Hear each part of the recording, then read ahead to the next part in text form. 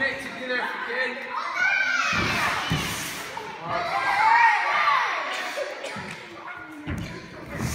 Good impact, good slide.